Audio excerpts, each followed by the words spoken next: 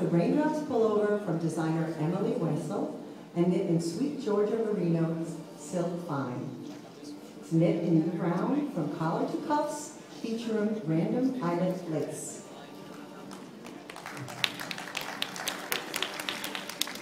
And now from SweetGeorgia is the Budding Garden, Garden Pullover, knit in SweetGeorgia Superwash DK, and it was designed by Allison Green.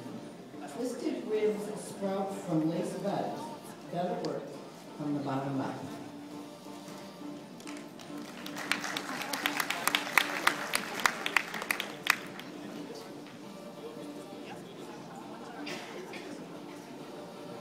We switch to